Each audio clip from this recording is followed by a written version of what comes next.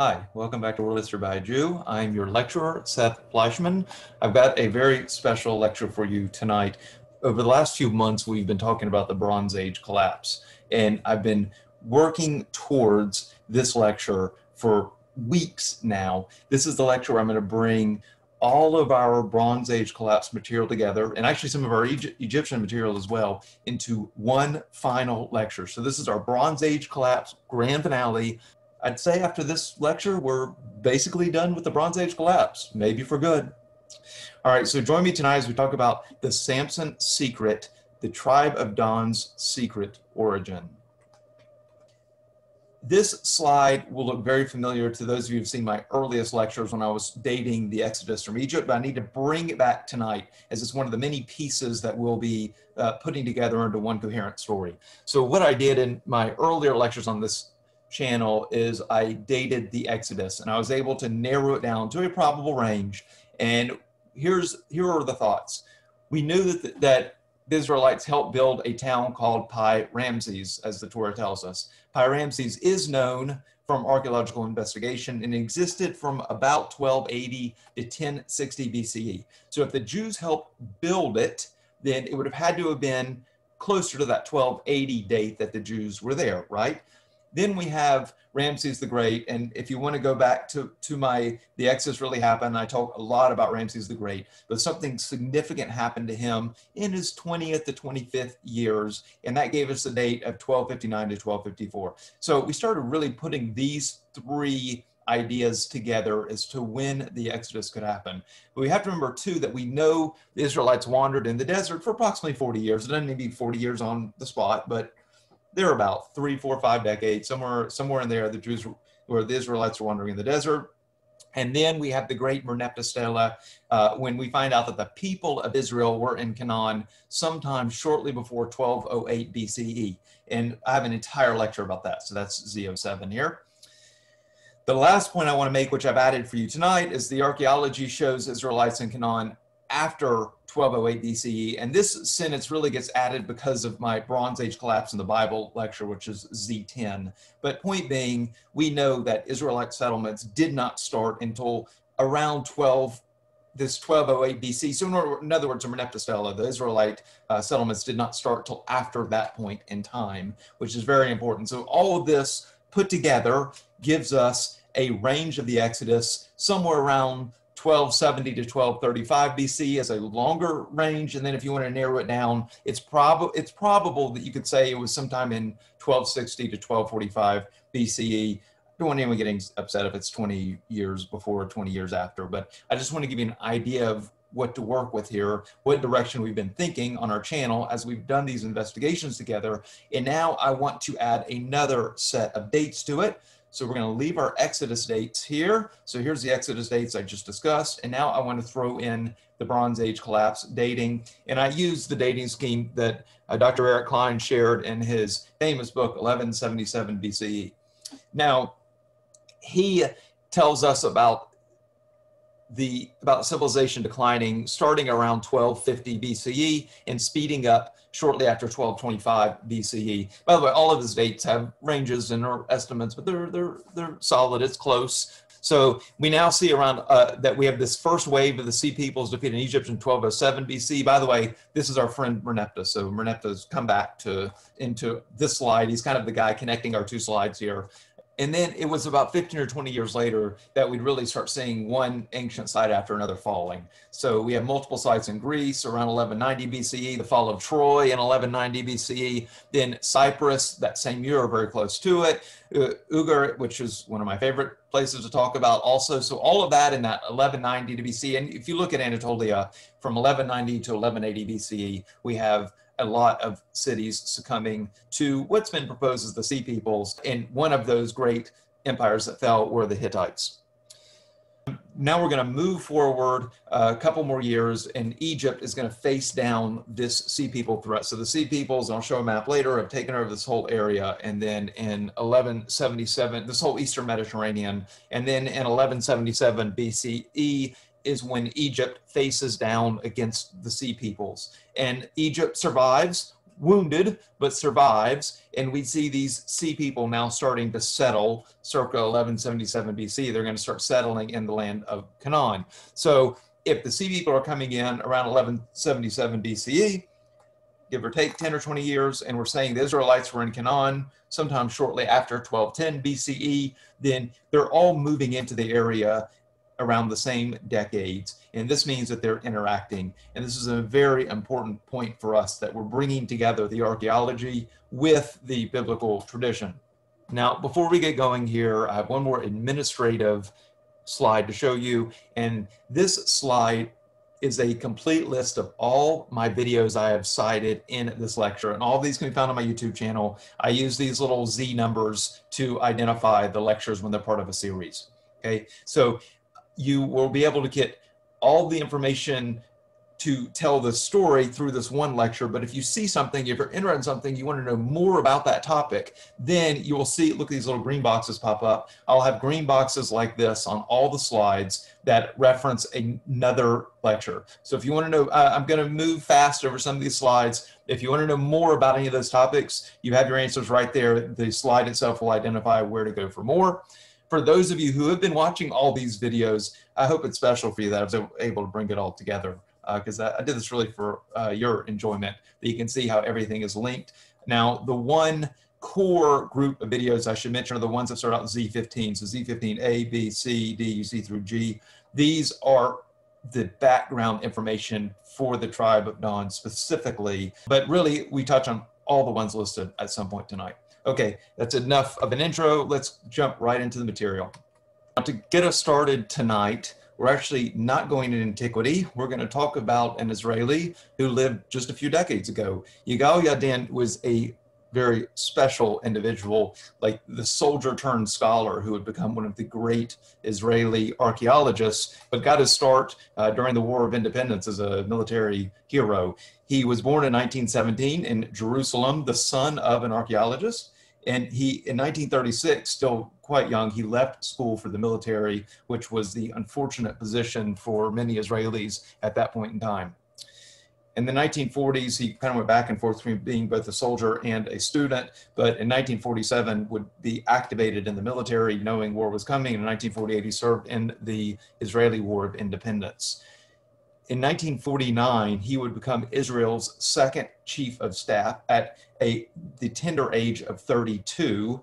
And as he did everything at the at a tender young age, he would retire from the military at 35 to devote his entire life to archaeology and scholarship, although uh, towards the end he'd come back into public service. I'll talk about in just one minute. So let's talk about Yadin as an archaeologist. So in 1955, he got his PhD and he, he really became the archaeologist of the people. Uh, let me explain.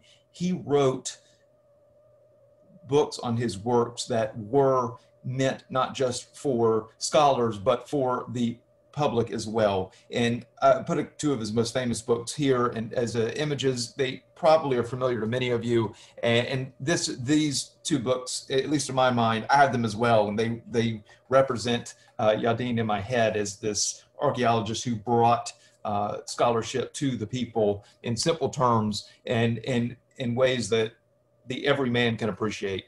Now, he also, uh, so he wrote numerous books. He, he led ex, uh, excavations at Hazor, and then the Qumran Cave, that's the Dead Sea Scrolls, Masada, uh, Megiddo, and he would close his career going back to Tel Hazor. Uh, I actually have that, that book as well. There was a better one that just came out a couple years ago. Anyway, I'm digressing. Uh, he also worked very hard to uh, stop the to stop artifacts from being stolen and really his biggest adversary and probably in quite in both in terms of archaeology and in the military was another well-remembered general. I won't mention any names, but I will mention a, a famous quote uh, when when Yadin was trying to fight the Israeli military from stealing artifacts. He once remarked, uh, I know who stole it. I'm not going to say who it is, but if I catch him, I'll poke out his other eye too. You know, I always, I always like that quote, so I, I had to share. But anyway, Yadin, as I said, would go back into public service and would be a politician. He served as a senior advisor to the military during both the Six Day War and the Yom Kippur War, and eventually would enter the Knesset. So, in, from 1977 to 1981, he served in the Knesset, which is the Israeli parliament. Uh, he was deputy prime minister under Menachem Begin, and he was part of the peace talks with Egypt in 1977. There's a great story about him with Sadat, uh, Egypt's leader, that he all, he and Sadat shared a pipe. You know, this uh, this is more in our as an American, our Native American line of thinking of the peace pipe, but it's very symbolic that Yadin shared his uh, pipe tobacco with, with Sadat. Now, Yadin would return back to academia at the very end of his life, and he passed away uh, in 1984 at still relatively young age in our modern terms. Now, Yadin has left us with a legacy we're going to explore tonight. Really, his greatest archaeological legacy, the one that everyone knows, is the story he has pieced together about the Masada. Uh, in fact, if you look here at the book, the momentous archaeological discovery revealing the heroic life and struggle of the Jewish zealots at Masada. Okay, so this is what he's best known for, but he has another theory that's been floating around for about 50 years. And what I want to do is use this particular theory regarding the tribe of Dan to actually wrap up our series on the Bronze Age collapse. So we're going to look at the theory that Yadin proposed 50 years ago, pull in all the latest research we have and put it all together into one coherent presentation. So Yadin's theory, his question was, or I should say his idea was, that the Israelite, Israelite tribe of Dan were sea people. Now, what would make a great biblical archaeologist like Yadin think one of the Israelite tribes came from Greece? Well, that's our here tonight. That's going to be our archaeological investigation and adventure for the next hour or so.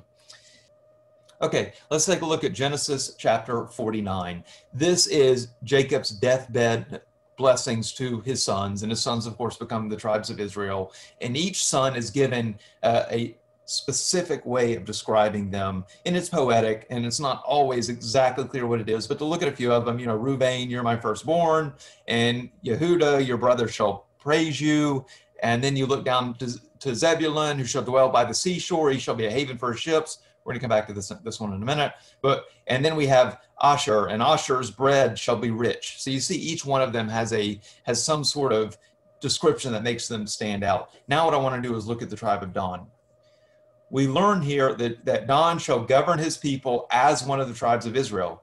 Dan shall be a serpent by the road, a viper by the path that bites the horse's heels so that his rider is thrown backwards. So, what the sentence I want you to note is Dan shall judge his people as one of the tribes of Israel. As. Now, that's very interesting that he needs to judge his people like he's one of the tribes of Israel because we all thought he was one of the tribes of Israel, right? Why does he need to act like he's one of the tribes? So this is already sets the tribe of Dan apart. He's a little bit different than the rest of the tribes, and that's what we're going to explore first tonight. It's not just chapter it's not just Genesis chapter 49. There are others the other oddities when you look at the tribe of Dan. So, first of all, let me just say this is a summary of what I do in this biblical oddity Z15F. So, if you want to know more about the information on the slide, I've got a whole lecture on it, but this is going to be a shorter version of that.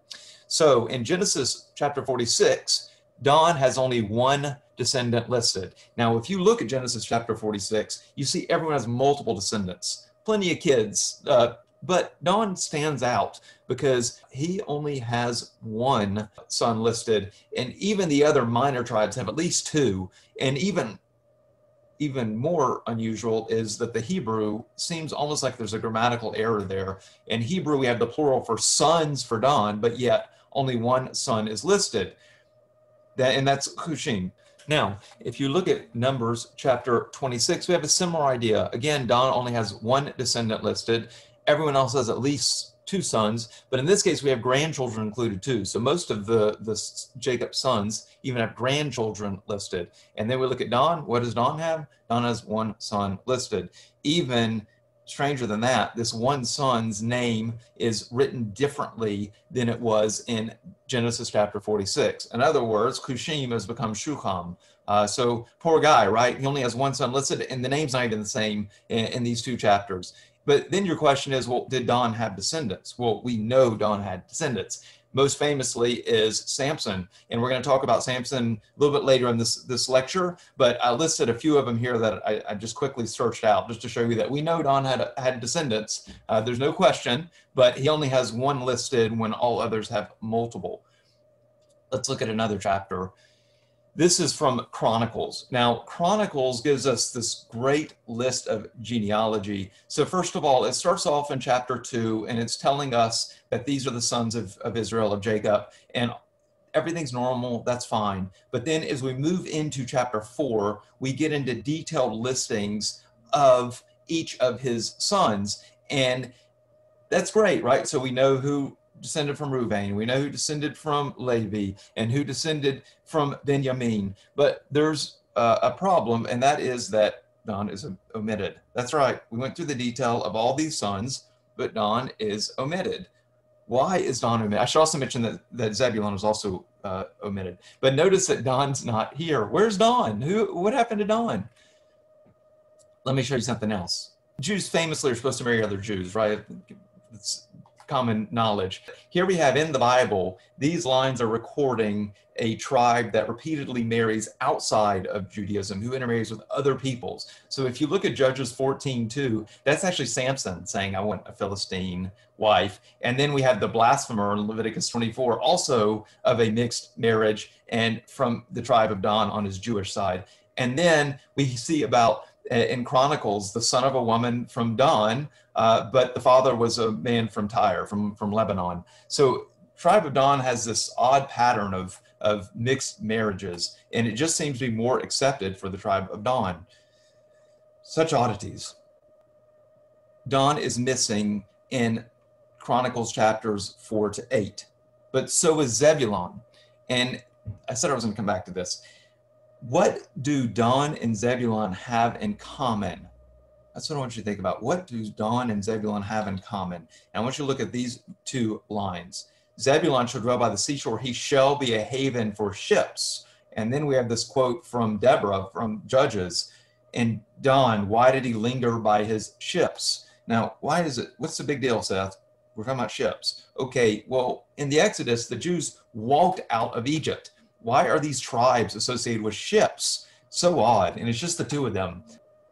Okay, so think about that and let's let's move on. I've got a couple other things for you to think about, including that we need to know more about this quote from Deborah, from Devorah.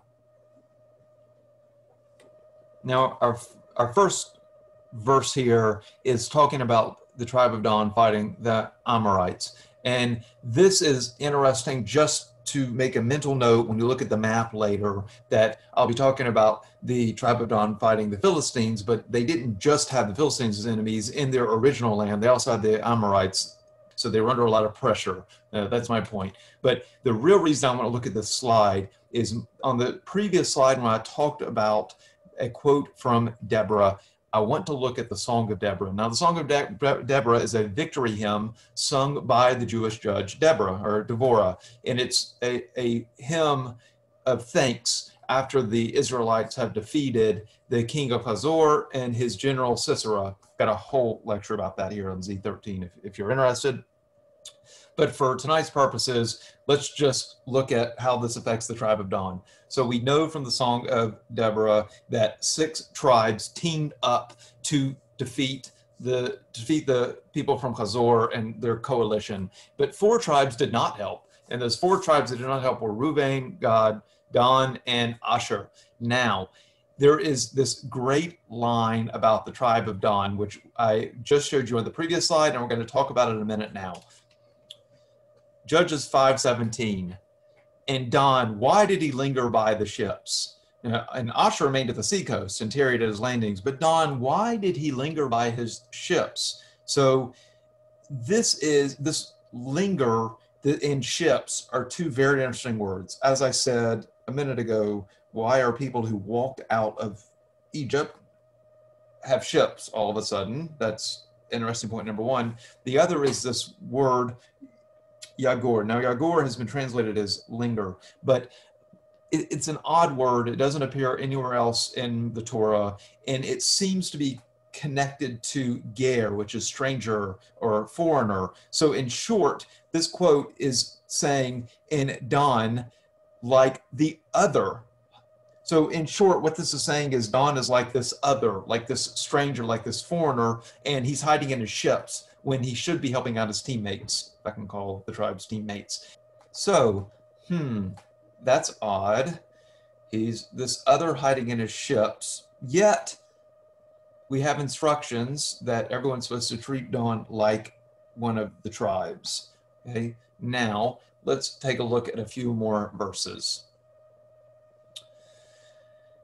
If you look at this map, this map is a composite of the book of Joshua. And this, so the map takes the, the geographic, and by the way, this first quote is a, this is a good one for seeing how you have these geographic spaces. The seventh lot fell to the tribe of the Danites. So all the tribes have these geographic places, and uh, um, this map is showing those, those places now let's let's look at Dan specifically. So the seventh lot fell to the tribe of the Danites, and we have these cities pointed out, and this is this maps it out for you. Joppa or ja, is really Jaffa. Okay, so modern terms, uh, and uh, Jaffa is connected to modern Tel Aviv. So you have like if you've ever been there, if you want to look on a map, you'll see that Old Town Jaffa basically touches modern Tel Aviv. So this is the big port area for the tribe of Dan. It's a little bit odd because we know some of this was Philistine territory, like Ekron, as you can see, is clearly within the, and it's listed here as well if you want to see it in the text. Ekron is clearly listed as part of the tribe of Dan's territory, but we know it was, it was actually a Philistine town. It was part of Philistia. So there's there's some overlap here that's that's hard to to explain. And, and uh, mentioned a couple other places. The Zora and Eshtaol are going to be important for for Samson, as will Timnah. Ir Shemesh is really Beit Shemesh, which is known for many of you watching this, uh, I'm sure, and, and, as is Bnei Brak. Okay, all right. Now, ne- next verse. The next two verses in Joshua then tell us this very odd story. But the territory of the Danites slipped from their grasp, so the Danites migrated and made war on Leshem. This is Laish they captured it and put it to the sword. They took possession of it and they changed the name of Laish to Dan after their ancestor Dan. Okay, so this is odd. Okay, the Danites last lost their land to their enemies and they migrated way north, way up here. See, there's Dan on the map. Okay, and then they conquered a town called Laish and renamed it Dan. Hence, it is on the map. So let's take a look at another map that shows this migration clearly. And here you go. So here's Jaffa, uh, the original location, and their little journey up north here. Now, I have one more verse I want to show you on this slide before I move on. Now we're going to skip from Joshua to Judges. So in Judges chapter 18, in those days there was no king in Israel. Okay, this tells us it's during the period of Judges. And in those days, the tribe of Dan was seeking a territory in which to settle. For to that day, no territory had fallen to their lot among the tribes of Israel. Okay, this is odd. Why is this odd? Because Joshua came before Judges. Now, Joshua told us that there was a lot, that there was an inheritance for the tribe of Dan. Okay, clear. And then you read Judges, which came after, and it says there was no inheritance for the tribe of Dan. They had no territory, which seems to contradict Joshua. So we start asking ourselves, why didn't Dan get an inheritance like the rest of the tribe? So something to do with them being treated like a tribe, uh, as a tribe? Does something to do with them being on ships? Okay, next thought. Now I'm going to talk about camping. Let's go camping. I've named this slide the, the Camp of Dan. You'll see why in a minute.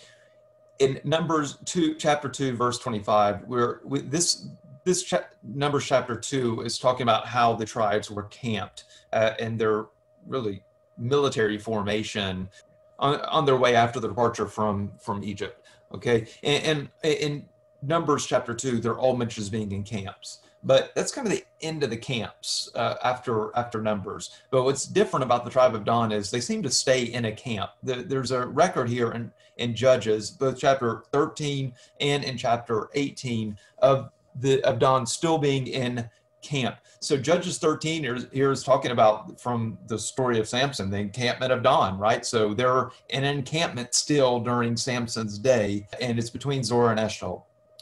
And then we move on into Judges 18, and this is from that migration. When they make that move to the north, we're told that a place is actually even named the camp of Dan after these this tribe that was in a camp. So Dan is identified with being a semi-nomadic, being in a semi-nomadic camp, right? They're they're they seem to be semi-nomadic much longer than the other tribes, or at least they're somewhat on the move. And I mean that is in mass, they're on, they're on the move. Now I'm gonna actually talk a little bit more about Judges chapter 18 in just a minute because it's very important for us. But first, I want to take a little detour and talk about Rashi. Now, who is Rashi? To many of you watching this, I don't even need to bring it up. Everyone knows Rashi, but to others, you've never heard the name before. So Rashi, by most people's counts, is the greatest biblical commentator ever. By the way, he also did the has authoritative commentary on the Talmud that's been printed ever since the Talmud started being printed. But there's been a lot of great rabbis throughout Jewish history. And when it comes to biblical commentary, you can make the argument he was the best ever, the most influential ever. Uh, and that's saying a whole lot. Now, he was, he lived in what's now France and, and lived from 1040 to 1105. His name was actually Rabbi Shlomo Yitzhaki, but we just we just say Rashi for short. We uh, famous rabbis regularly we use an acronym to to refer to them in the future.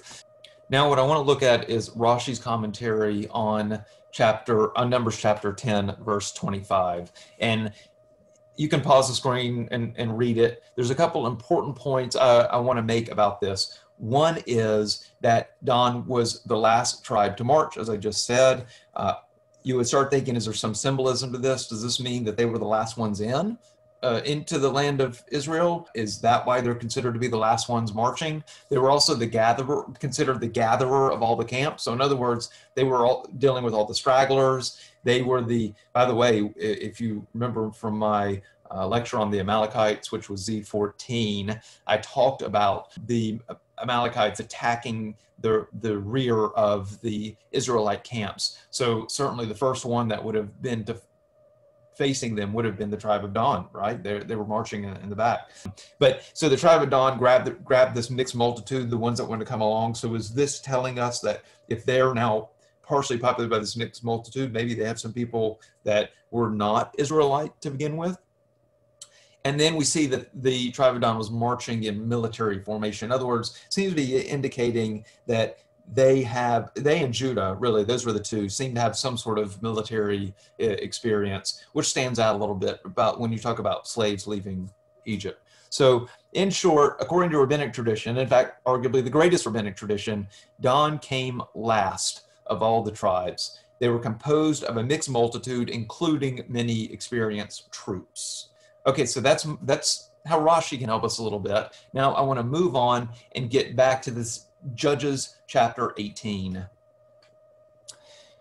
If you look here on the left, this is, I left out a, a few lines that were repetitive or weren't vital to the story, but if you want to pause the screen and read this, this will give you really the full story of the Danite migration from around Jaffa up here to Dan. And I do talk about it at length and go through the entire story in Z15F, which I, am not going to do uh, right now, just just due to time. But I'm going to assume you know it, so you've either paused it and read it now, or you've watched my last lecture. And I want to mention several important points. First of all, when we read about this migration in, in, in Judges chapter 18, it fits what we know geographically that it's saying that basically the tribe of Dan marched from this area through the hill country and up to this area of Israel. Okay, so it fits. I'm gonna talk about the archaeology of those two sites. Uh, just give me a few minutes, but we're gonna get to the archaeology. I want to just give you a little bit more information to work with before we move on though.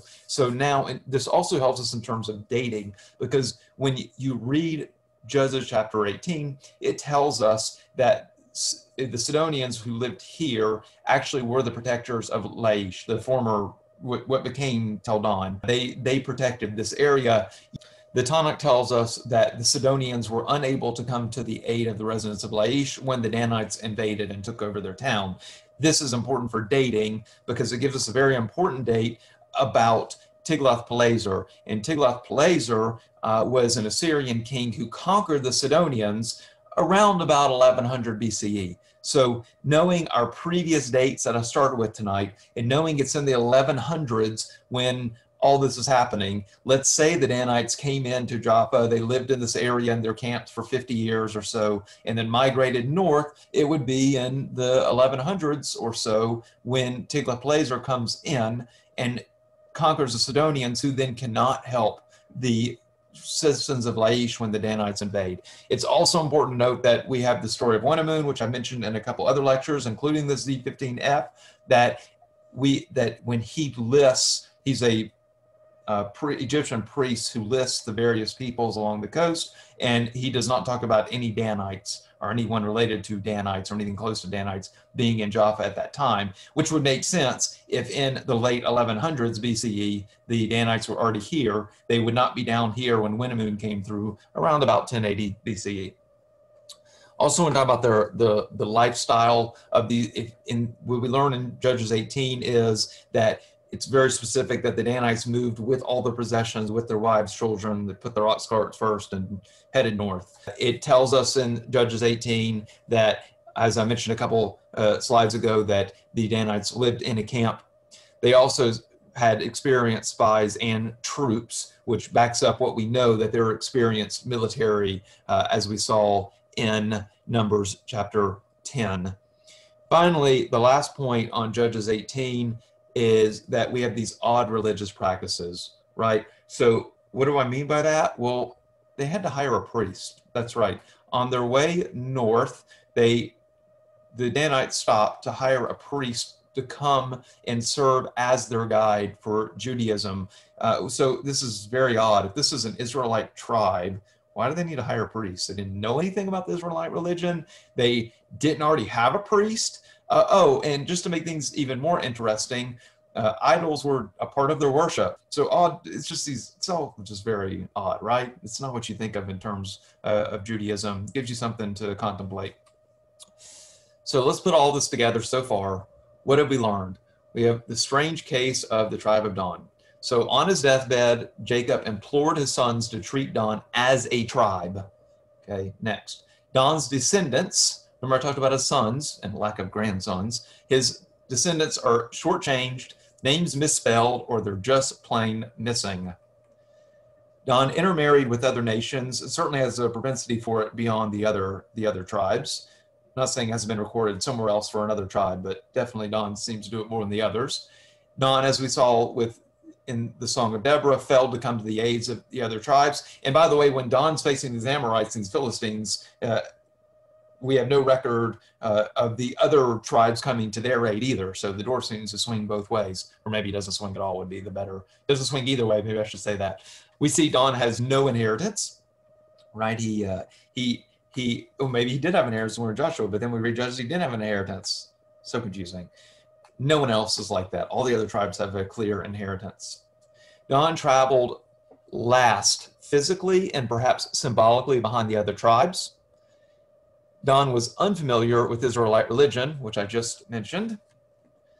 Dan has experienced military, which I said this slide and the one before. Dan was semi-nomadic and lived in camps. I know I've really driven home this camps thing at this point, but and then finally, maybe the point I've driven home the most is Dan is associated with ships. Okay, so let's put all this together. Uh, our first pot for the night, we're going to mix up our pot, and then we're going to ask the question, or at least I should ask Yadin's question: was the tribe of Dan an Israelite tribe or a sea people? Now you start thinking maybe Yadin had a point. Now you start thinking what could make this great biblical archaeologist actually think a Israelite tribe were really Greek? Okay, give me some time. No one get offended. Let's take a closer look at this. We're going to switch gears and talk about the Bronze Age collapse. I've done enough introductions to the Bronze Age collapse many of you have heard me do some version of an intro multiple times, so I decided I'm going to skip it tonight. I talked about it briefly at the very beginning of this lecture, and we're going to get to the sea people now. If the Bronze Age collapse is not familiar to you, I highly recommend you watch at least one, or if not both, of these two lectures, Z8 and Z9, uh, before continuing on this lecture. Just the real basics are we had this this high point of civilization in the 1200s BCE. All these power, all these powers in the Eastern Mediterranean who were interconnected, and then it all came crashing down. And the most relevant to our discussion has been the impact on the sea peoples, these peoples that, and this map here on the left shows you that they were these peoples that uh, seemed to invade and destroy along the way as they covered the Eastern Mediterranean. Now, in our lectures during the Bronze Age collapse, we've we've talked about these five sea peoples. Now, note, see, there's nine. Uh, there's nine sea peoples, but we're focusing on these five, and the ones in bold. Not only we talked about, they're going to be on our, our map of the land of Canaan, uh, which we're going to discuss again. Should be familiar to most of you, but it's it's an important map for our discussion. We're going to come back to. So my point is, make sure you have these five in head in, in your head because those are the ones that I want you to remember. Now, these these people are considered to have come from the Greek world, but by Greek world, I mean uh, not just Greece, I mean the Aegean, I mean Crete, Cyprus, and Anatolia as well. In antiquity, a large portion of Anatolia had Greeks, or people that we now would identify as those of, of the Greek culture. These are important points to consider as you look at this map and see this movement and, and note all the damages here as the sea people came in and destroyed town after town after town on their way to Egypt. Now, speaking of Egypt, let's take a closer look. These are inscriptions by Ramses III, and he was the pharaoh who faced the great uh, Sea People invasion of 1177 BCE and his writings and also his, reliefs are the most vital information we have for reconstructing the Bronze Age collapse, the invasion of the Sea Peoples, who the Sea Peoples were. We have Ramses III to thank for much of our knowledge today. Now, there's a couple inscriptions I'd like you to I'd like to take note of. One is Ramses III, his Papyrus Harris, which is a long document, like a, a detailing his his reign, the chronicles of his reign. And then we have Medinet Habu, uh, which is his mortuary temple, and he has inscriptions and reliefs there as well. And we're gonna I've talked about it in depth in Z09, uh, which was Egypt versus the Sea Peoples. Uh, and then we came back and looked at it again when we talked about the Denyen Sea People in Z15A. So I'm not going to spend as much time on it as I'd like to spend because, well, I've already spent a lot of time on it. So check out those other lectures if you're not familiar. Now, Ramses III gave us these, these two inscriptions, these two records that I want to review again tonight. And that is, I on the top one here, I overthrew the sea peoples from their lands. I slew the Denuna, the Denyen who are in their isles, and the Jeker and the Peleset, who are the Philistines, were made ashes. And then let's look down at this, this next one. Their confederation, so the confederation of the sea peoples were the Philistines, the Jeker, the Shekelesh, the Denyen, and the Weshesh lands united. Now, I want you to note these three. We're going to come back to it. The Denuna, or the Denyen, who were in their isles, the Jeker, and the Peleset, who are the Philistines. Those three are, are coming together, and we're going to come back to it. But I just want to give you a taste of the reliefs. I mentioned Habu in case you haven't seen it, and this is a this is Ramses III's record of the his battle against the land forces of the sea people. I know the sea people, but they actually invaded by land and by sea, which again I talk about uh, in the Z09, and I explain the the this relief in detail but I wanted you to note a, a, just a couple interesting things, and that is by zooming in. So notice these squares are just zoomed in versions of what you already see on the relief, and note that you have these ox carts pulling wives and children. See, wife of sea people, wife of sea people, children of sea people, again, children of sea people, wife of sea people, ox cart pulling their possessions. This sounds a lot like our description of the Danites, right? When the Danites migrated, they said they put their ox carts before and they their wives and children and all that, and the whole camp moved. And so we have this visual image from the Egyptians talking about the sea peoples, but it also gives us a visual of what the biblical story of the of Judges 18 was telling us also about a migration, just to get an idea of what this these these migrations would have looked like. And of course, they are the sea people. So I also discussed the sea battle as well in Z09 if you want to check that out. But of course, the sea people were in their ships, right? So remember, in their ships is a big theme for us in this this lecture tonight. So ships and camps, ships and camps sounds very familiar, right? I can't think where did we talk about ships and camps. Okay, let's take a look at our map of Canaan. This is the one that I referenced a couple slides ago when I listed the sea people and I said, hey, remember these five sea people? These are the what we talked about, and we're going to get to the map. So this is the map. I didn't think I really needed to jump around at that time. You don't need to go back. It, what I'm going to tell you um, is going to be said here. So we, in, in our several lectures, and by the way, you can see the lecture numbers right here. We talked about these different sea people, and now I have a map of the coast of Canaan uh, and where they settle on the coast of Canaan. So first we had the Shardana right up here, the purple, and then we had the Jeker in green. Down here is Philistia. And then we spoke about the Amalekites and my theory of how the Amalekites got there. And that one, if, if you haven't seen one, please check it out. It's, uh, it's one of my favorite lectures that, that I've done. But if we have identified all these different sea people and that these are their locations, which at least for these top three that are well attested, uh, I'm not saying 100% of it, well, 100% of the people would agree the Philistines were here in Philistia. I, I, think the majority would be okay with the Shardana and Jeker here as well. Well, we have this gap in the middle, right? This big gap. And you can see what I'm indicating here about this gap is that's where the tribe of Dan was. Now, that fits perfectly well with our overall story because if the tribe of Dan was here. We know there's a gap right here that there are no other sea people at this location. And we know from Joshua that, that this was originally their land, uh, their inherited land, although Judges tells us it wasn't their inherited land, but Judges still tells us they came from this area and headed north. So it all makes a lot of sense. There's the gap. This is where we're told that they were. So it all kind of comes together but it's kind of this oddball, right? That you have all these sea people listed, and then all of a sudden you have this this is Israelite tribe. Now, that kind of gets Yadin back to to his thinking. So instead of being the lone Israelite tribe on the coast, what if the tribe of Dan was actually one of these sea peoples, right? But which of these sea peoples? And that's the next step in our conversation tonight. Which of these sea peoples? Okay, if they were the sea peoples, do we know who they were? This chart was analyzed in each of our individual Sea Peoples lectures. So now what I want to do is I want to focus on the Denyen people, which is you have this blue rectangle around the Denyen, but is but they're they're connected to these three. So if you remember from the inscriptions of Ramses III, I told you to remember the three that were together in his inscriptions, and these are those three: the Denyen, the Jeker, and the Peleset.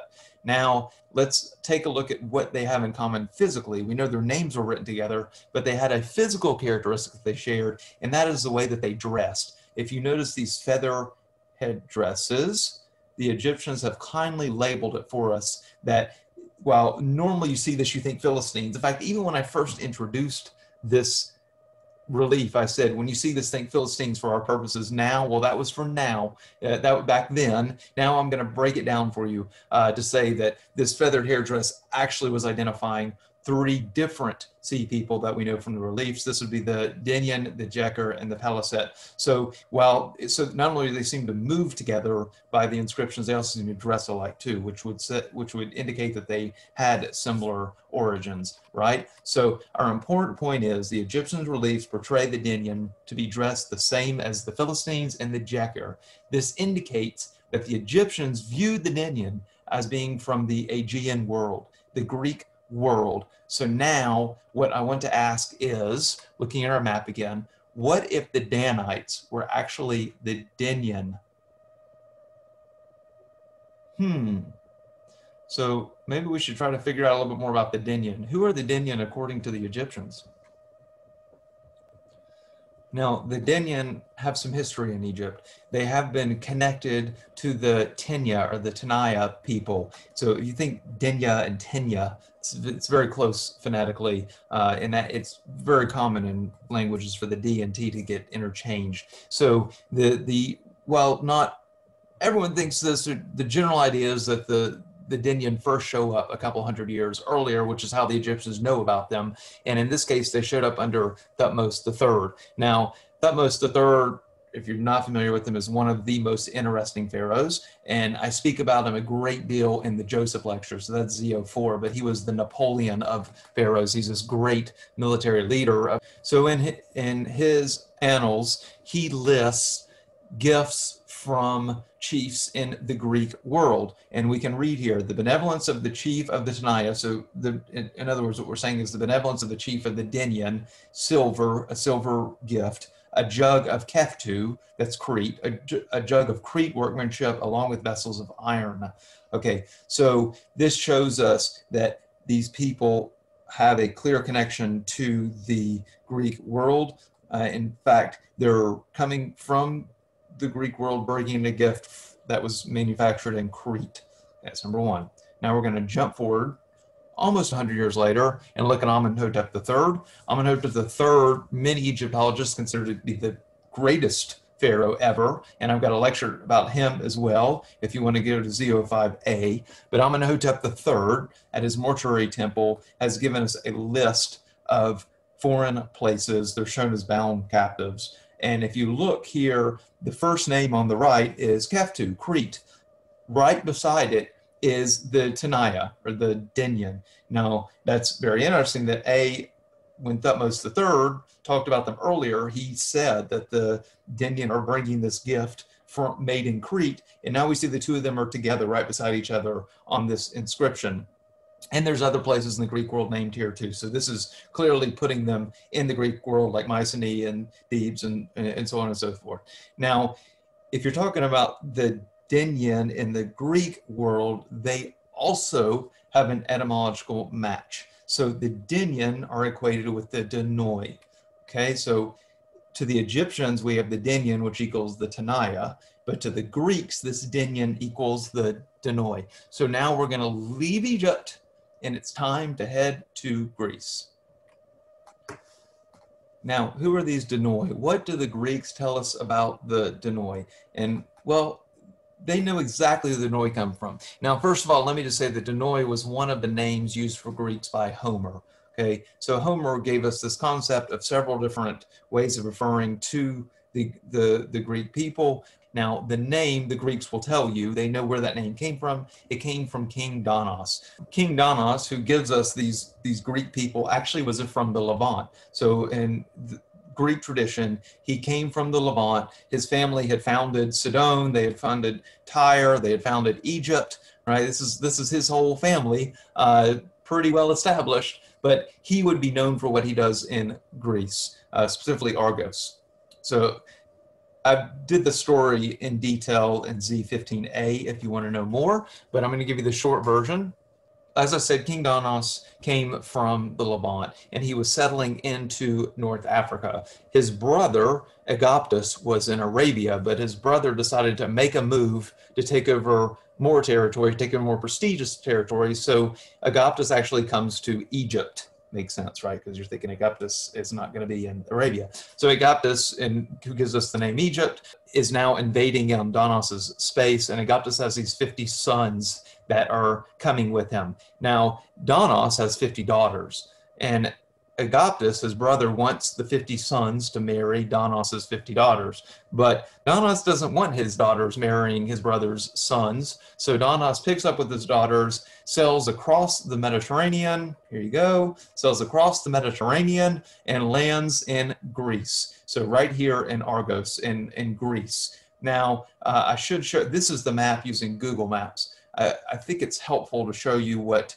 the this same Mediterranean area would look like to the ancient Greeks. And if you look at the descriptions based on Herodotus, you will get more of a map like this. So in their mind, King Donos is leaving the Levant, heading here to North Africa and selling across here to Egypt, which gives you a little bit of a better picture for this guy's origins and how he ended up. I actually like the Greek map better than the, the modern map, but things don't go so well for him because his brother is going to come after him.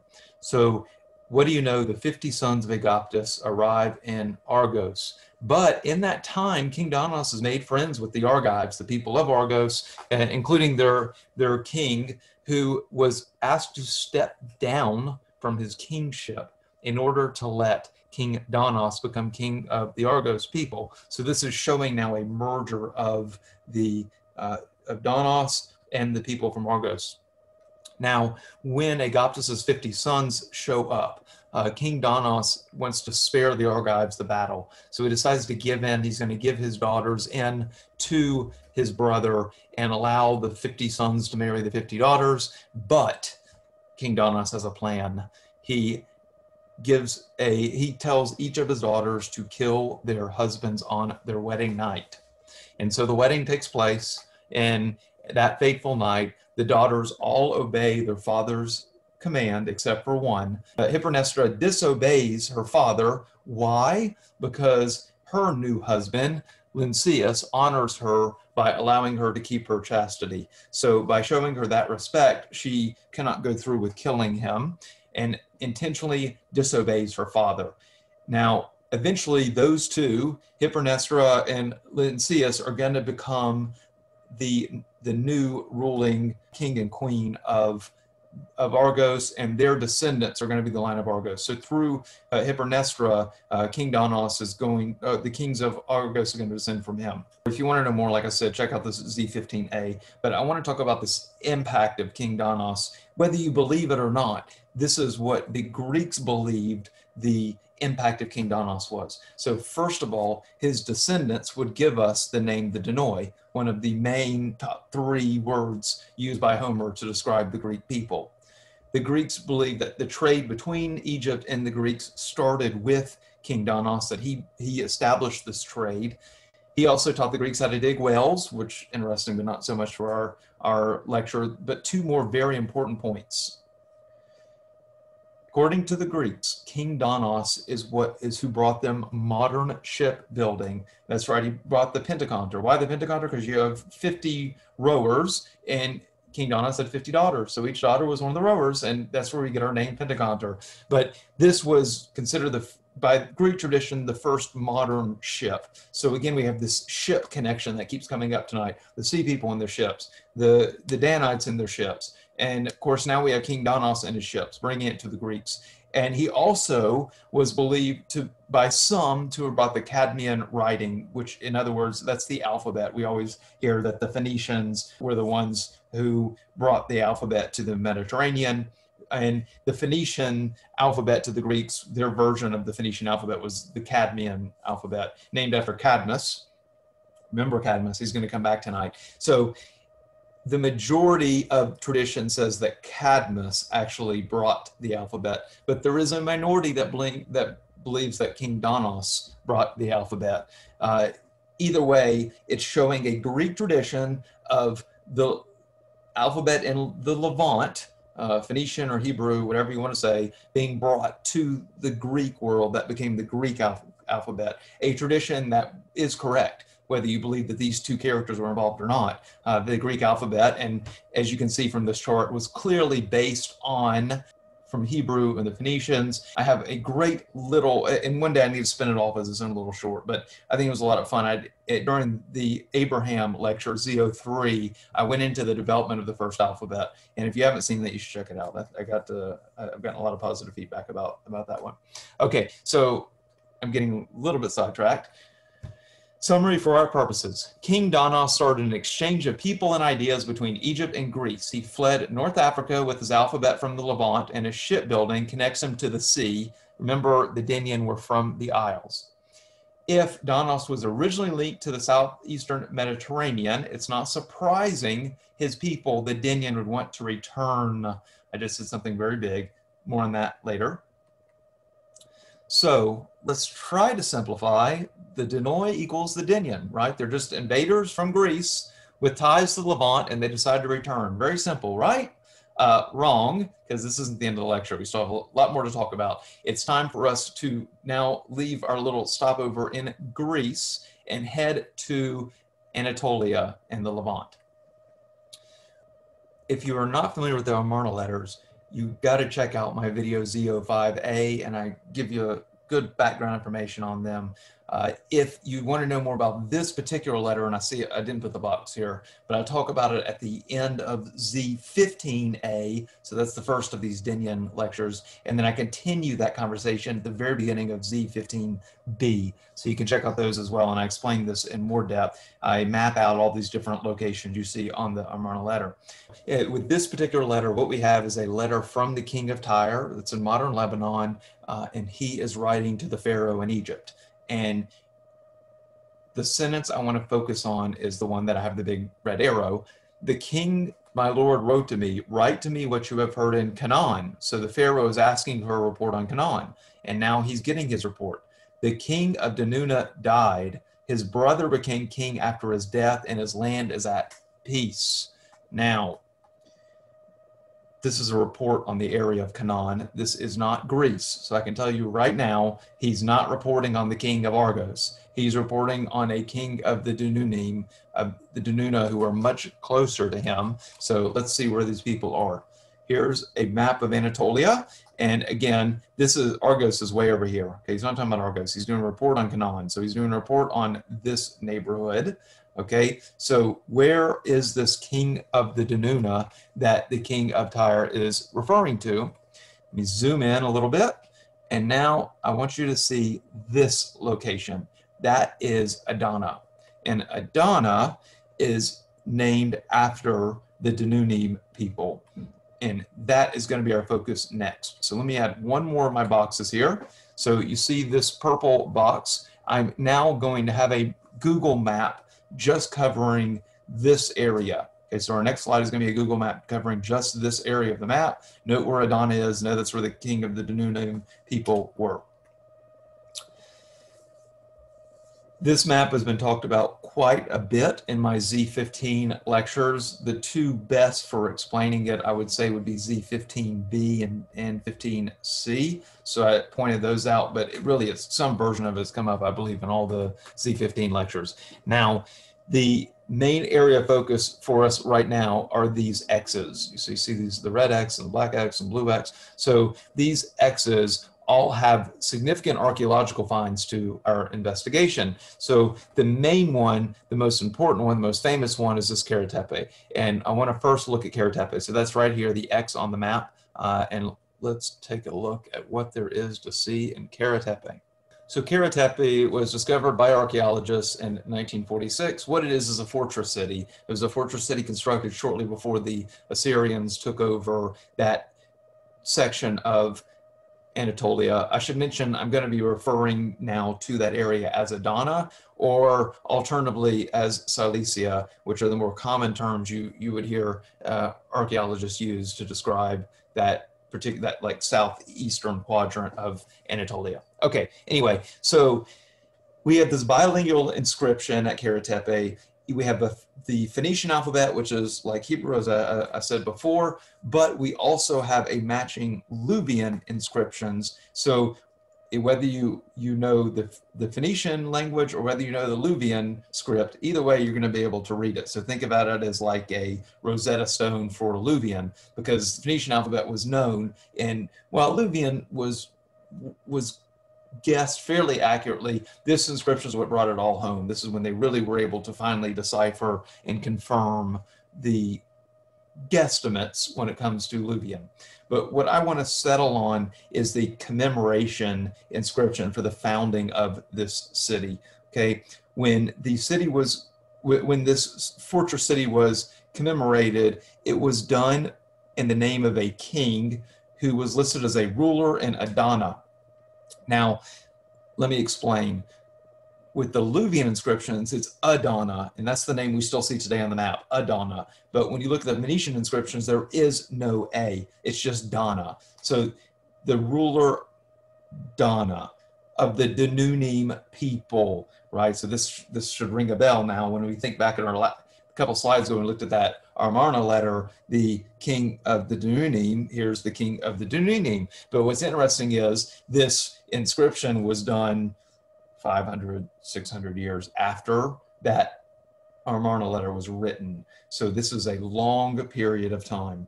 In addition to this Dana Danunim connection from this inscription, we also find out that this king is a descendant of the house of Mopsus. And we have a lot coming up on Mopsus. So uh, before I get too far ahead, I want to take a look at a couple more of these inscriptions. So this is kind of a half map of what you saw before. So we're just in Kara Tepe, but in addition, I want to look at this Cineköy here in Arsuz, in Greeley, what we see over and over again, and these are dated, uh, the ones that I'm showing here are all dated to the 700s, maybe early, maybe late, but believed to be in the 700s.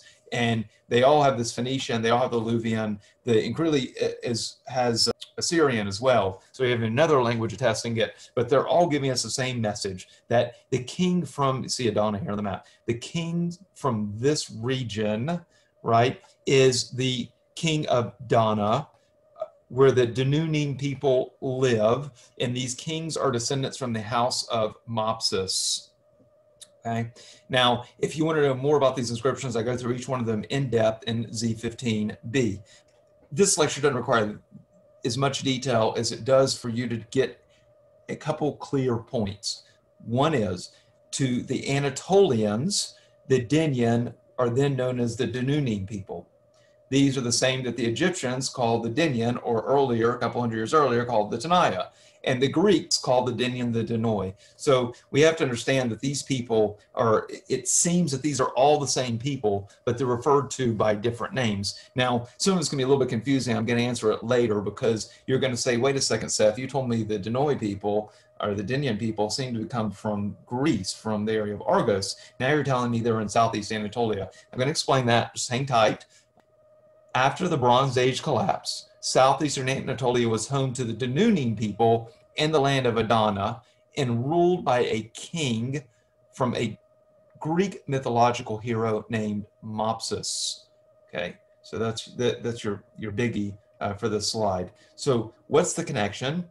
We have people who etymologically match the Denyen, one of Egypt's sea people. They're at an attested location, as in from the Amarna document, with an Aegean connection right? Because we just talked about Mopsus, who comes from the Aegean, and they're there at the right time. In other words, circa Bronze Age collapse, and afterwards, right? You have to conclude afterwards. But there's a problem. And what's my problem with these locations, with Argos and with Adana and Anatolia? Well, it has to do with islands. Because if we go back to that Ramses III record from the Papyrus Harris that he gave us, he uh, Ramses III tells us he slew the the Danunim, the Denyen, who are in their isles, the Jeker and the Pelis that were made ashes. So in their isles is a problem for us, but maybe it's not because maybe there actually is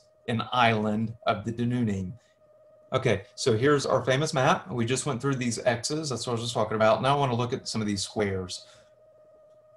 This yellow square, if you look at the center here closely, there is a little island in the middle of that square. This is a very interesting island for our discussion. It's called Dana Island. I'm gonna take a closer look at Dana Island. Dana Island is the biggest ancient, has the biggest ancient shipyard ever discovered. The shipyard was very recently discovered, uh, just 2016. So five years ago was it discovered, and the research is even after that. Uh, certainly something that Dr. Yadin could have never known. Now, it's right off the coast of Turkey, as I just showed you on that map. To give you an idea of the shipyard, there's 270 plus slipways. That means 270 ships could be built and made ready to sell simultaneously so if you have to launch hundreds of ships, let's say across the Mediterranean to invade Egypt, uh, that sounds like a very reasonable place for those ships to have come from, right? Not only that, the dating is perfect because its peak operation was circa 1200 BCE, right when the Sea People's invasions and the Bronze Age collapse was happening. So my point being any substantial naval operation from Anatolia would involve Dana Island. Now, I want to look at a couple Assyrian inscriptions. All, if you look here in the middle, all kings from the islands amid the sea, from the country of Iadana, as far as Tarsisi. Now look down here. 10 kings from Cyprus, Iadana, is what it actually says, not Cyprus, amidst the sea. Now, what's the connection? Like, like I said, the modern island is called Dana Island, but we see in Assyrian inscriptions, they're talking about this place in the sea called Iadana. Well, it seems that this E to start off with Dana comes from Isle because the Assyrians, who were not sea based people by any stretch of the imagination, actually had no word for isles.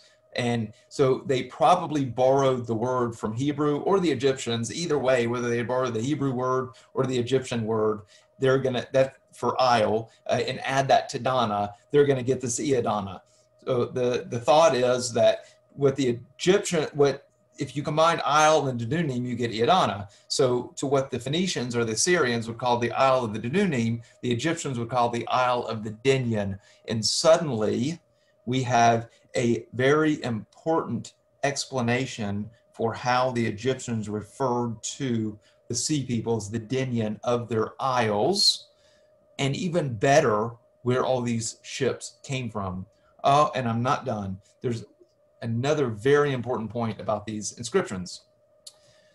We have another Greek connection because when you look at these Iadana kings, while you would think you would see a bunch of Anatolian names, seven of the 10 kings listed have actually been identified as Greek names.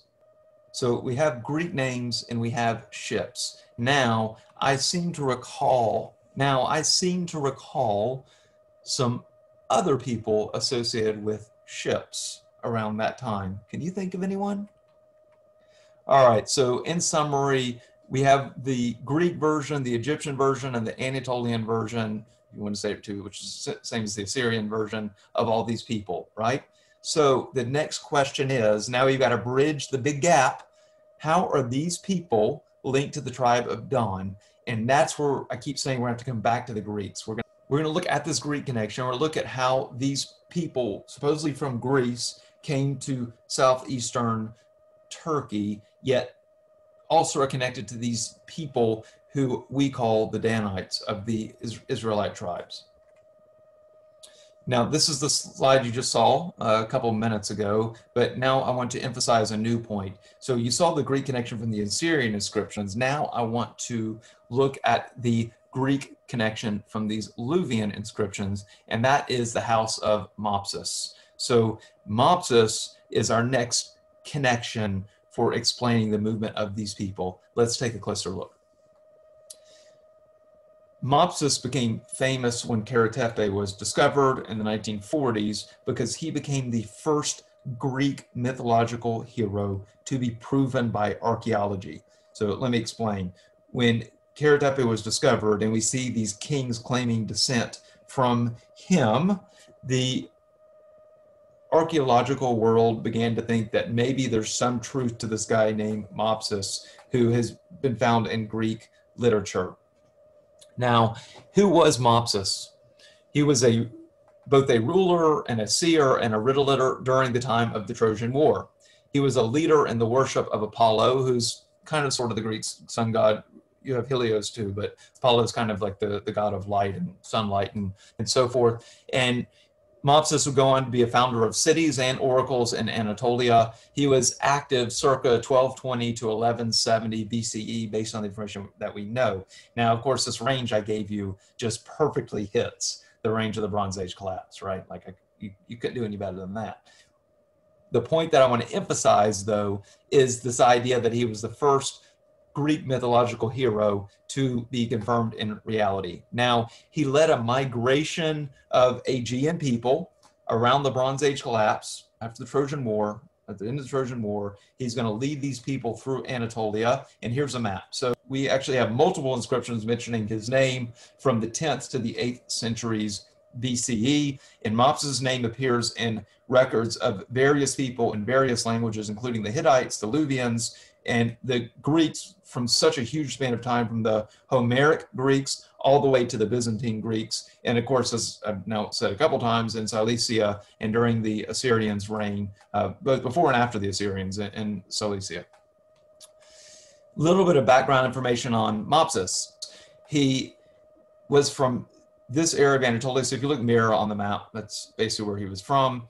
His mother was a prophetess of Apollo, and some say his father was actually the god Apollo, uh, but that would be the minority. The most identify his father as being a, a king from Crete who ended up here in Western Anatolia. And then Mopsus's wife was Pamphyle, a princess from Crete. So we've got a double Crete connection, both with his wife and his father. And there is a region here in, in, in, in Turkey named, named Pamphylia, who was named, of course, has a uh, etymological connection to Pamphyle, Mopsus's wife. Now, I'm not done with Mopsus. Let, let, let, me give you a little bit more information before we move on. So here's just the summary of what was on the other slide. Let's talk about his travels. He starts off in Western Anatolia and he gets his, his start at the uh, sanctuary of Apollo at Claros.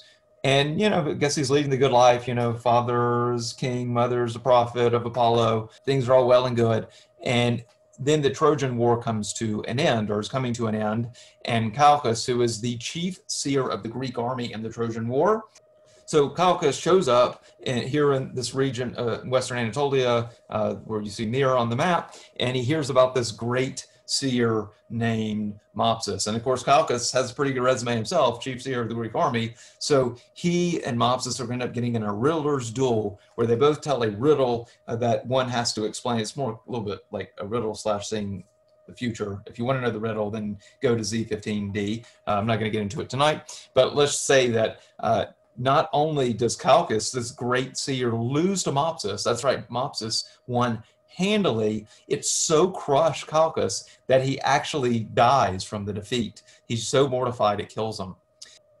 So after Calchas is defeated, now all these Greeks are going to join up with Mopsus, and Mopsus is going to lead Calchas's Greeks, along with I assume some of his people as well, up through the uh, up through Anatolia to this region we now call Pamphylia, which is named after Mopsus's wife, Pamphyle, and then on through the Taurus Mountains. And then he's going to really make a name for himself here in this region of Adana in Cilicia. Now, Mopsus, once he gets to Adana, he founds several cities that are known, the most famous of which is Mopsuestia. So that means the hearth of Mopsus. By the way, remember hearth. Okay, just put it to, just keep in your head, it's gonna come up later. But remember that he named the city Hearth of Mopsus. He also named another city Spring of Mopsus, and he founded Mallus, which is a oracle site. Now, the archaeology does support an influx of Greeks into this area around 1200 BCE, right? So once again, we have the archaeology matching uh, consistently throughout this entire lecture. Now, the Danunim that once now, let me just say, Adana was there before, right? The Amarna letters were over 100 years before this. So Adana was here before, but this at this moment, it seems that the Danunim really became these native Anatolians that were there before, mixed with these Greeks, like perhaps a Greek aristocracy or Greek leadership, but mixed with the with these Greeks. Okay, and Mopsus isn't done yet because there's one other piece to the story I should mention, and that is that it's been told by later Greek tradition that Mopsus led an invasion into Ashkelon. So that's our last arrow right here, right? I'm heading straight down south. Ashkelon's a little bit off the map. We have this tradition that Mopsus led a force originally from Mira to into Canaan. And why did he invade Ashkelon? Well, to battle, battle the Egyptians. In fact, according to Xanthus, our best Greek source on this adventure of Mopsus's, records his greatest feat being invading Ashkelon with these forces originally from Mira, and Mopsus casts the local goddess of Ashkelon into a lake and destroys the temple. He then this and then I should say that we have Luwian and Hittite documents that would back up this idea. Like the story is told in full by Xanthus, but you can you can match back with Luwian and Hittite records of the same basic idea. So we have these, these cross references that, that work together. Now, let's summarize what Mopsus means for our discussion. We have a historical figure who's a forefather to the Adana royalty, even though he was once thought to be mythological. He shows us a mixed background of Greek, Anatolian, and Crete, right, wife and father. He's associated with the Greek god Apollo, right? Who's like the god of light, god, a, a sun god Number four, Mopsus is a seer who liked riddles. He won a riddle contest that would set really his life on its course. He would eventually settle in southeastern Turkey, which is Adana. He led an expedition to Ashkelon and destroyed a temple there. And finally, the rulers of the Duni, the Dununi, or the Denyen, would later on claim descent from him. So, in other words, his memory would would be maintained by his people. Leg- now, I want to move away from Mopsus as a man and talk about one of his legacies. Mopsus founded a city called Mopsuestia. This is the one that I told you means the heart of Mopsus. I want to talk about it for a minute. Now, its modern name is Yakapınar. So you're looking at this map saying, where's Mopsuestia? It's right here where you see Yakapınar. That's just, that's a more modern name. It seems to me, though, when I look this up, it's still even known better by another name called uh, Misis. Okay, so it's, uh, it's a city of, of many names. So in one of my lectures, we took a close look at Mopsuestia, or Misis if you prefer, or Yakapınar if you prefer. Uh, and I want to come back to remind you, or at least review, our discussion we had in that lecture. So this is Z15E. Now, when we visited Mopsuestia, or the, the hearth of Mopsus, we found a fourth century synagogue with quite impressive mosaics.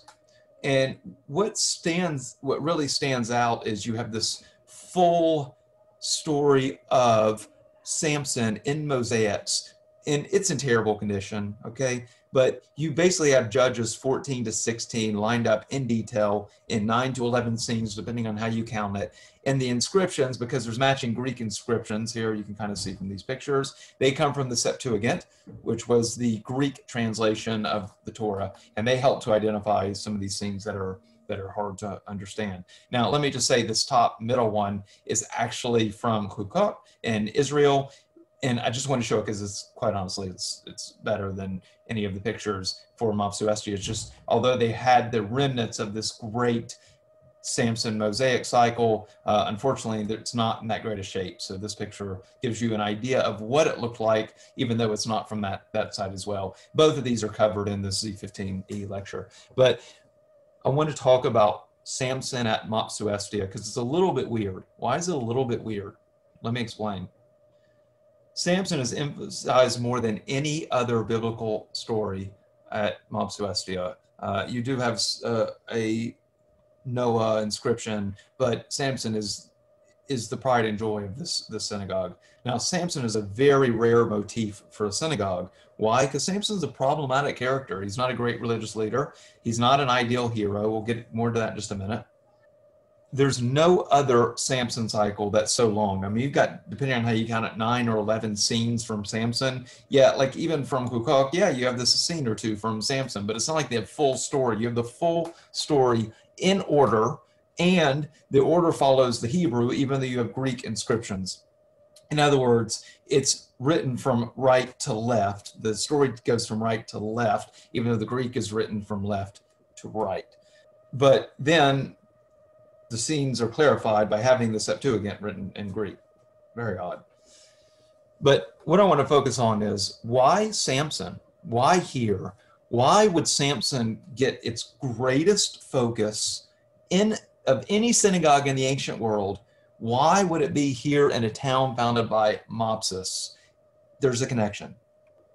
Could it be, we're just thinking out loud here, Samson is from the tribe of Dan. Is it because the tribe of Dan and Mopsus's Danunim are connected and the people there knew it? Okay, now let's take a look at our Samson story. I did this story in detail on Z15F. I'm not going to read through the whole story. If you're not familiar with it, just pause the screen and go through this little this cartoon. and It'll give you basically what you need to know. But I'm going to assume if you're listening beyond this point, you have a decent handle on Samson.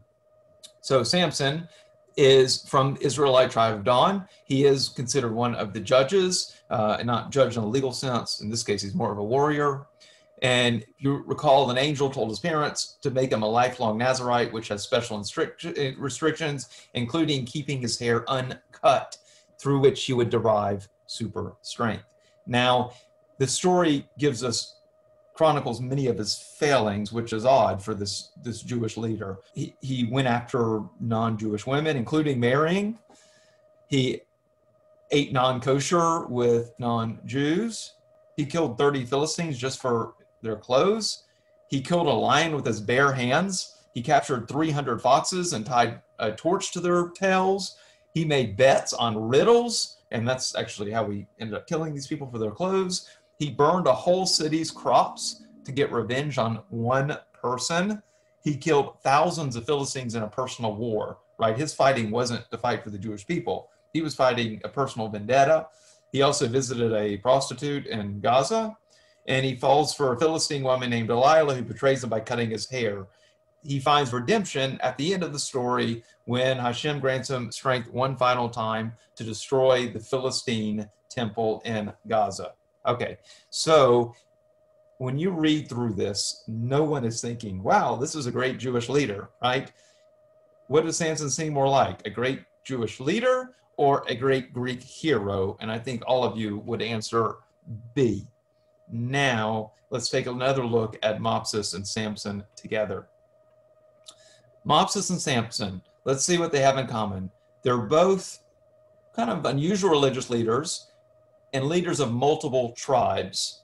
The Danites have a tradition of being composed of multiple people when they brought up the rear. We know Mopsus combined multiple people when he started his migration. They both were warriors fighting for land, right? They were trying to find land for their people or for themselves or a little bit of both. They both were people on the move, right? They were migratory people and they led migratory people. They intermarried with their neighbors. In other words, uh, Mopsus brought the people of Crete together, whereas Samson was bringing the Philistines together with the, the Danites, for better or for worse. They both loved riddles, right? They both were in riddle contests. They both led fighting in Philistia. Remember, Mopsus led the invasion into Ashkelon, and then we had Samson repeatedly fighting in Philistia. They both destroyed a Philistine temple. Mopsus destroyed a temple in Ashkelon, where Samson did in, in Gaza.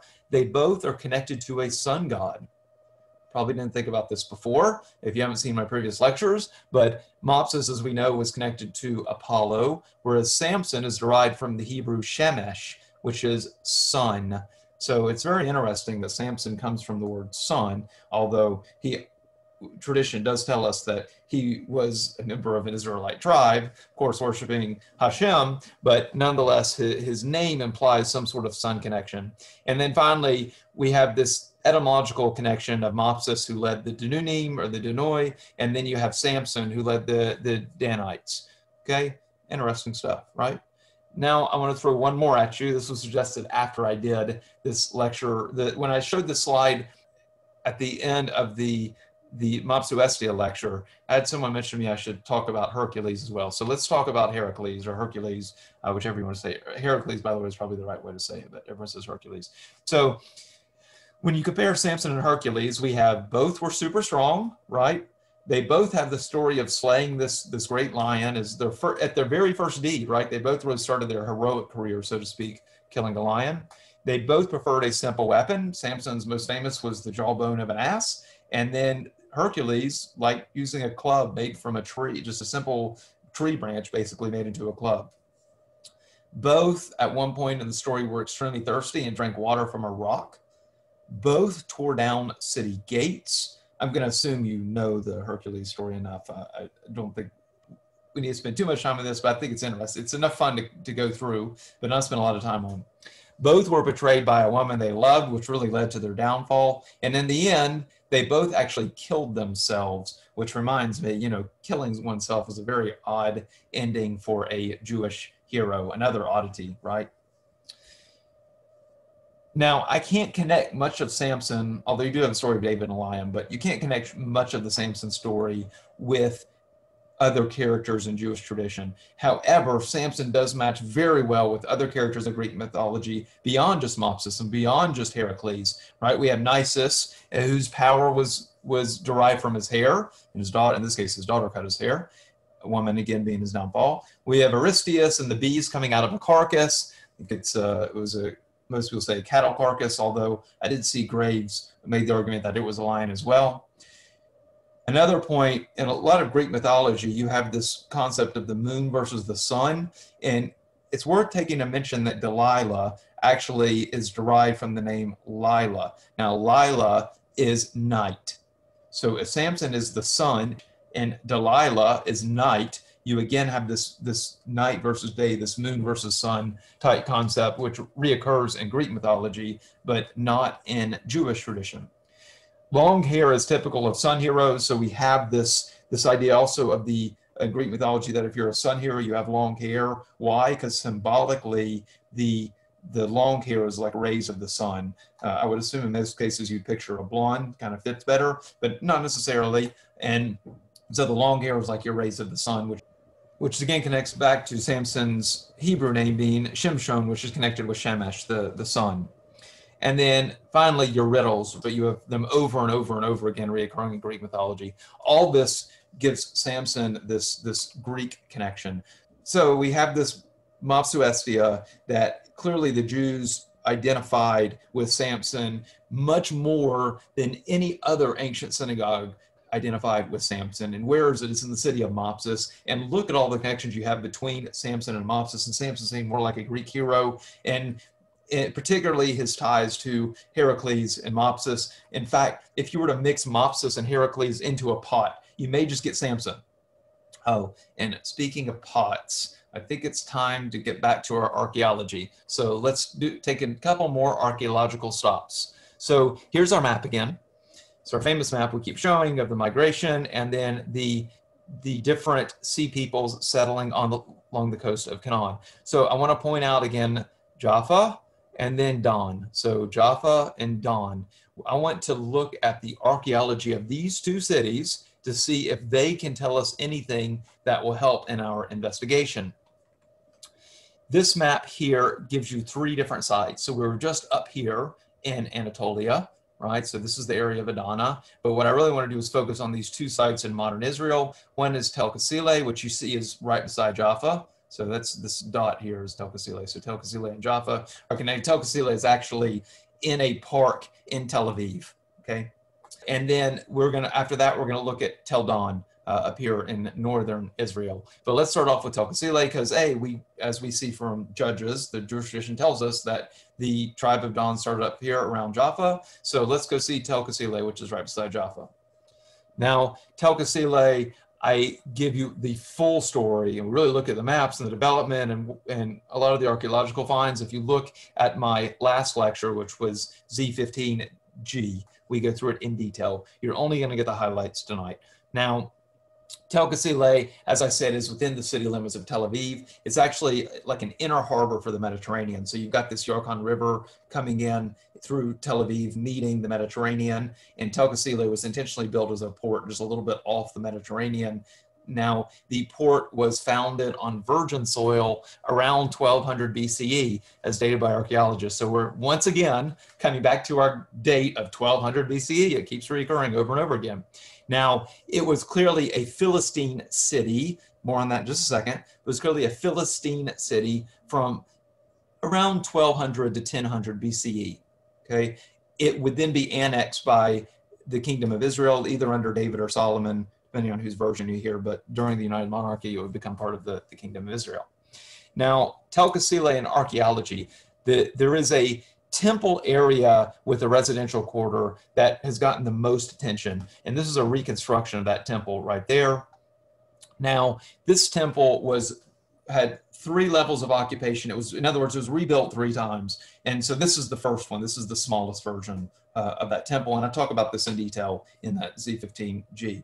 Now, when I say Philistine, you see I keep putting it in quotes. That's because what could be labeled as Philistine really should be looked at as sea people in general. And if you want to go back and look at my lectures, like the Z13 lecture, or, or this last one, Z15G, talk about some in Z14. So point being, what we say Philistine comes from the biblical tradition, but you have to see from an archaeological point of view, Philistine actually can mean different sea peoples. So it seems in this first level that when this port was founded around 1200 BCE, we have this um, a different Philistine, a different sea people than those that would occupy the next two levels. So in other words, they after this first level with the smallest version of the temple was destroyed, another Philistine like people, but different, uh, destroyed the city and rebuilt it. So if they were all friends and all the same people, they're not going to come and destroy their own city, right? So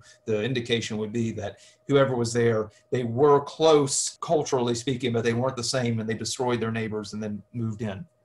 Now, this temple is a huge, huge deal when it was discovered because it was the first Philistine slash Aegean temple ever to be excavated. Like major, major deal. Uh, and remember, we can't go to Gaza anymore to excavate. Gaza is completely, I don't mean that from a political point. Well, that's an issue too right now, but uh, I just mean the city is completely overbuilt on and overbuilt on, so you can't go excavating there. So to find this temple at Tel Qasile was a huge, huge deal. Um, and then also, in addition to the temple, there was also an administrative complex with the hearth. And I told you when I first mentioned Mopsuestia, remember this hearth concept? Well, I'm coming back to it now because the hearth is an indication of a non-Canaanite population, more specifically in our case, one of the sea peoples, right? Because the hearth is a central element to construction in the Greek world that was completely non-existent to native Canaanites. And I mean that both,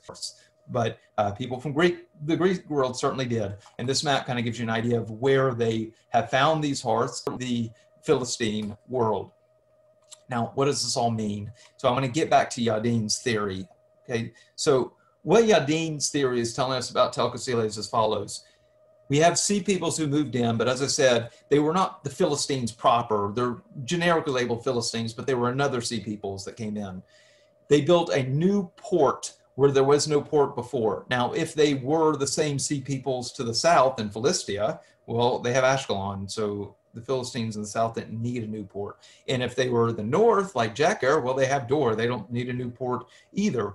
But if they were a different people moving in, they do need a port for them. And if they're people that have ships, they definitely have to have a port. They can't be borrowing someone else's port. They need a port on their territory. So we conveniently have this new port built in between, which would be an indication that this is a different people than the other Philistines. Now, this first layer of occupation was short, probably only about 50 years, give or take a decade or so. Then we have another group of sea peoples or Philistines really Philistines proper move in to replace these sea peoples that were there before. This freestanding hearth, though, does give us a clear connection to the Aegean world, even at this, this first layer. And this Philistine temple is of note, not just because it's the only one that excavated, because it gives us an idea of what a Philistine temple really looked like and what, what was in it and how it was set up. So in summary, we have this brief settlement of Philistine-like people, but they weren't Philistines, they were different. They're like a group of sea people who picked up and left. Okay, now I told you we are going to talk about two sites, Tel Qasile and Tel Dan. It's now for time to talk about Tel Dan. So remember, Tel Dan was an ancient city even before the Danites arrived. So it was Laish, and its settlement goes back really to, to the, the dawn of civilization. Uh, and I'll, I talk about its origins as well. You get a lot more about Dan. Dan's actually amazing in archaeology. So if you're not familiar with it, please check out my last lecture, Z15G. But for our story tonight, I'm only going to give you the basics. Now, the the main stratums worried about are stratums seven, six, and five. So seven being the oldest. This was late Bronze Age, and there was a destruction layer after seven, and then six starts, and this is when it's proposed that the Danites moved in. It's been dated roughly to around 1150 to 1100 BCE. So if Tel Qasile started being founded circa 1200 and the people were there for 50 years and then moved, then this 1150 date kind of sounds good and it matches with our Bronze Age collapse around uh, 1190 to 1177 BC and it matches with our Exodus with the Jews coming in after 1210 BC and then settling a few decades later, it all kind of works together with our dating, right? It all, all kind of comes together. Now, what's interesting about this layer is if you looked at layer seven, this late Bronze Age layer, it's a very sophisticated, advanced culture with a lot of trade goods, valuable goods in the area. But when you look at stratum six, it was replaced by a lower level of civilization. It was replaced by people who lived in tents and built storage pits for their grain, which is a clear downgrade from the previous stratum. Now, when you look at the pottery, and I looked a lot more pottery in the last lecture, but I want to hit a couple highlights. So the, the valuable pottery disappeared when we went from stratum seven to six. And much, but not all of the uh, pottery from the Aegean world disappeared as well. It certainly, some of it was still there, but it seemed to change. Sidonian was, was also greatly decreased, which is relevant to our earlier discussion about the Sidonians once protecting Laish, but no longer able to do so once Laish became Tel Dan. Now, the greatest amount of research on any specific item has been on these collared-rim pithoi. These collared-rim pithoi are considered a sign of Israelite occupation by archaeologists. And so while we have a mix of the other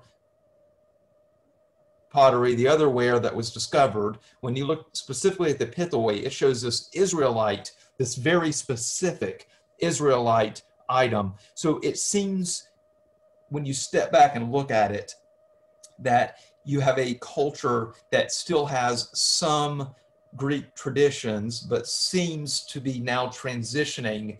This is like a transition point for to this some Israelite traits. And it's from a transitory people because these are these first layers characterized people by people living in tents, right?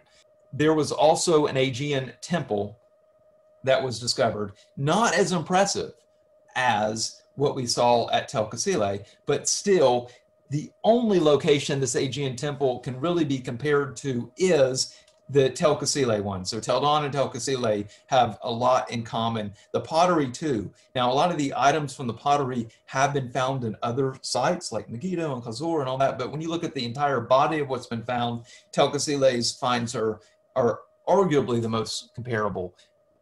Now, let me get back to this point. I know I keep saying it, but it's important. Let's get back to this tent concept, okay?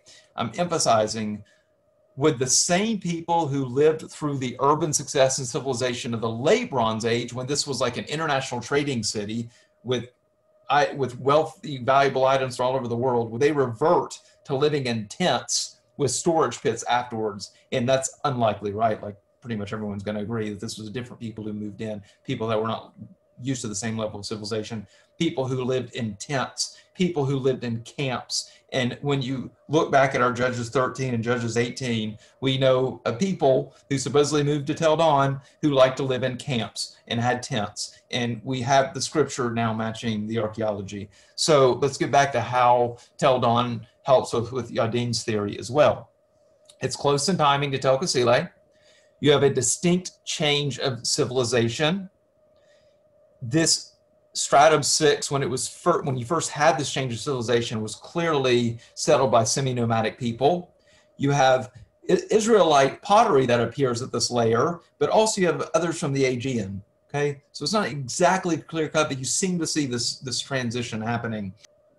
And then you have this distinct Aegean temple, which the most comparable ever discovered in Israel is in Tel Qasile, which is obviously quite convenient. In summary, around in the 1100s BCE, when Stratum 6 was founded, it was settled by migratory people with a transitional culture, a culture blending Israelite and the Aegean. And speaking of the Aegean, I want to hop back over to the Aegean world to show you something else. And this is a slide y'all haven't seen before. Now, I want to talk about Hecataeus and what the Greek tradition actually tells us about the Jewish Exodus. I know that sounds a little bit odd, but uh, this is what the Greeks say about the Jews. The ancient Greeks said about the Jews. And I want to talk about Hecataeus of Abdera. There's a couple different Hecataeuses and have this down below, but I'm going to say it now. This is not the Hecataeus of Miletus. So if you've studied Herodotus, you're going to hear Hecataeus and you're going to think that's what I'm talking about. I'm actually talking about a later one. So if Hecataeus of Miletus was the number one Hecataeus, this is number two Hecataeus, and he came around a couple hundred years later. Now, uh, this Hecataeus, though, was also a Greek historian. He was a philosopher. He lived in the 300s BCE he was from Abdera, which is uh, a Greek city on the Thracian coast. Now, no of no works of his survive, uh, unfortunately. We only have fragments from other authors, but we have cases like, say, Diodorus Siculus, who gave us a large summary of what Hecataeus wrote and credited it as Hecataeus' writing. Now, one other point about Hecataeus before I move on. In fact, I almost forgot, but I wanted to mention that Hecataeus is credited by some with being the one who told Ptolemy II to have the Septuagint created. Now, the Septuagint, in order for it to be created, Ptolemy II had to get together 72 uh, Jewish scholars who spoke both Hebrew and Greek in order to write it. And, and I go through it in more detail if you go to the lecture on Samson's synagogue. I talk about it in there. But just to connect with that lecture, I should point out that there's many that think that Hecataeus was the guy who gave Ptolemy II the idea to have the Septuagint written. Okay, anyway, that's enough on that aside. Let, us get into the writing of Hecataeus. If you look at this big, long, wordy section, and I'm obviously not going to read this to you, but feel free to pause the screen and check it out. It's very interesting to read. But this is what Hecataeus of Abdera said in 300 BCE, what he wrote in 300 BCE regarding the Jews. It's then quoted or summarized by Diodorus Siculus. Siculus just means of Sicily. So Diodorus of Sicily, it's just a summary of what Diodorus said that Hecataeus said. Uh, anyway, pause the screen and read it if you're interesting. I think it's very interesting. But I'm just going to point out, I don't know, three or four sentences here that I want to highlight. So you can see these sentences in this text here, but let, us just do this as a short version. In ancient times, a great plague occurred, occurred in Egypt. Remember, this is what Hecataeus said about the Jews. In ancient times, a great plague occurred in Egypt, and many ascribed the cause of it to the gods who were offended by them. Therefore, the native inhabitants concluded that unless all the foreigners were driven out, they would never be free from these plague miseries, and all the foreigners were forthwith expelled. Okay, so this is the Exodus, right? So the native Egyptians have concluded that their plague's not going to be able to like get rid of the, these foreigners. Uh, these foreigners were are, are included the Jews. Okay, now number three, the majority of these expelled people descended into a country not far from Egypt, which is called Judea.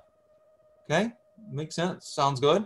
The leader of this colony was one Moses, a very wise and valiant man. Okay, great. And you can read on here and see what else he says about Moses. But I want to focus on just one more sentence, and that is Hecataeus also tells us the most valiant and noble among the expelled people, under some notable leaders, were brought to Greece and other places as some relate. The most famous of these leaders of the expelled people who came to Greece were Danaus and Cadmus. Remember Danaus, our king Danaus, who founded the Danaoi, and Cadmus, who brought us the Cadmean alphabet.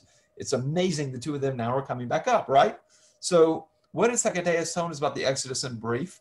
Well, first of all, it's mostly in line with what Jewish tradition tells us, right? So the Exodus was from Egypt. The Egyptians suffered plagues there, and the Jews were forced out or picked up and left and moved into Israel. But what what's interesting is this additional line that Hecataeus tells us the most valiant and noble, though, didn't go to Israel, they actually went to Greece. And this these are the this is King Danaus and Cadmus and their descendants, which goes great with our initial Greek mythological discussion of King Danaus, Egypt and then founding his people in Argos.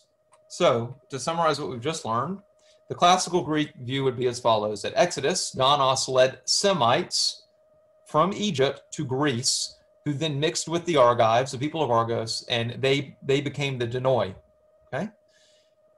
To the Egyptians, the Denyen of the sea were the Danaoi. And to the Anatolians, the Danunim of Adana can be equated with the Danaoi. So it's all coming together now. The tribe of Dan, they were the same people as the Danaoi, they were the same people as the Denyen, who were the same people as the Danunim.